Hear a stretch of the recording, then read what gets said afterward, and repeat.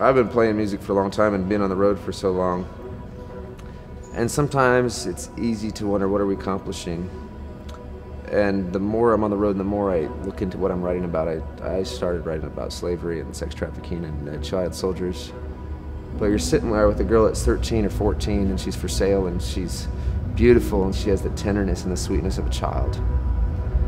And I say in the song, Jesus, where are you? I don't know where to put those feelings. I don't know how evil at this level can exist. I lost hope. I lost hope. Where is the king of the universe? I've never, and this is maybe too honest, but I've never been like, Lord, I want you to come back. Because I'm kind of happy. I'm playing rock and roll. I have three kids. I got a beautiful wife. I'm good.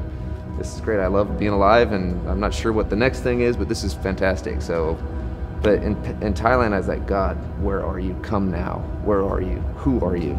Are you good? Are you sovereign? Are you really both at the same time? How does that work that you're good and sovereign and yet you're not here fixing this? And these platitudes, like everything happens for a reason. What about this prostitute I'm sitting with that's 14 years old? What reason did that happen to her? What's the plan for her? You know, that platitude doesn't mean anything to her. I'm not going to tell her that. She's in hell. And there's no way to deal with that sorrow, and we're so afraid of sorrow, we're so afraid of discomfort and I see a, a sea of apathy. But in that, I dream of a day when the righteous rise out of our indifference and we actually put our lives at risk for somebody else. But it's only going to happen when we have someone to chase after. So I chase after Amy Carmichael. She'd dye her skin with coffee and go into Hindu temples and rescue six-year-old prostitutes. And Harriet Tubman, you know, she's free. She goes back down into the South.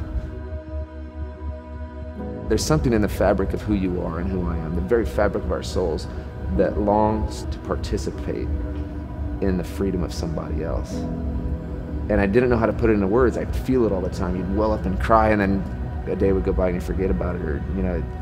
But if you if you can live in that sorrow, not let all this distraction drown the sorrow out, but just dwell in the sorrow. Jesus Christ was a man of sorrows, and he's acquainted with grief to really dwell in that sorrow, I think it's what makes us more like the king and not less like him.